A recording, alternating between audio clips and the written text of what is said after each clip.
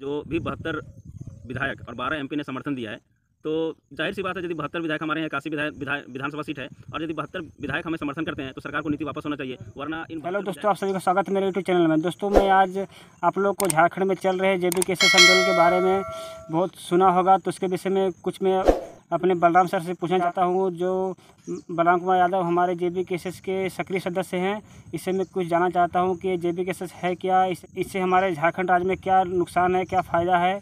तो तो चलिए पूछते हैं इसके बारे में, ये है क्या? जोहार, जितने भी दर्शक इस यूट्यूब चैनल को देख रहे हैं, उन सबों को जोहार रहेगा।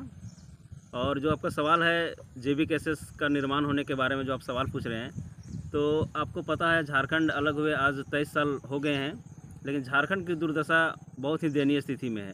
यहाँ से 40 से 45 परसेंट खनिज संपदा केंद्र सरकार को जाता है, उसके बावजूद भी केंद्र के द्वारा किसी भी प्रकार का कोई यहाँ के लोगों के लिए सोचा नहीं जाता है। और जैसा कि आपको सभी को पता है कि झारखंड के लोग काफ़ी पिछड़े हैं आर्थिक दृष्टिकोण से भी और शैक्षणिक दृष्टिकोण से भी। इस हिसाब से माना जाता था कि झारखंड अलग होगा तो यहाँ के लोगों को विकास विकास होगा। लेकिन दुर्भाग्य, यहाँ के लोगों को विकास होने के बजाय जो छोटे मोटे जो मत, यानी कि जो एमएलए और एमपी है, उनका विकास हुआ है।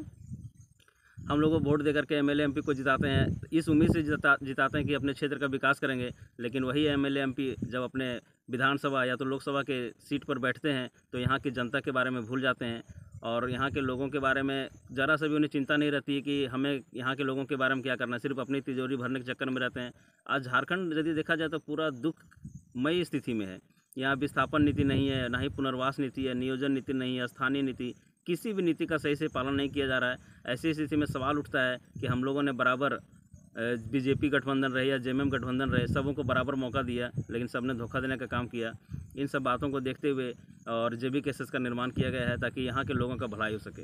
तो बलराम सर बताइए हमारे झारखंड में साठ चालीस का मुद्दा बहुत ही गर्म है इसके विषय में आप क्या कहना चाहते हैं? देखिए साठ चालीस का मुद्दा जो है वाकई में गर्म होने वाली बात है। साठ चालीस का मतलब ये होता है यदि थर्ड या फोर्थ ग्रेड में यदि सिपाही का, कर्मचारी का भी नौकरी आता है तो साठ परसेंट यहाँ के लोगों के लिए, चालीस परसेंट अन्य राज्यों के लिए।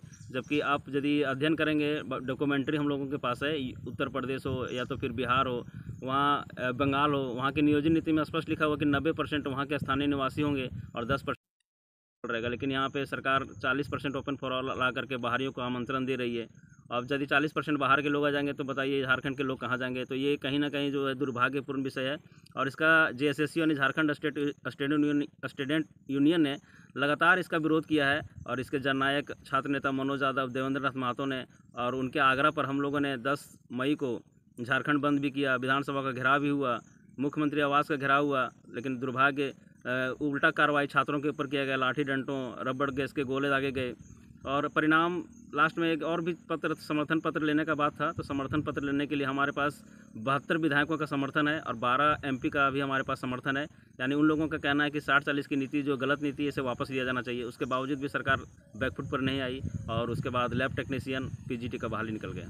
तो ये दुर्भाग्य की बात है, कहीं ना कहीं छात्रों के हित में नहीं है ये फैसला।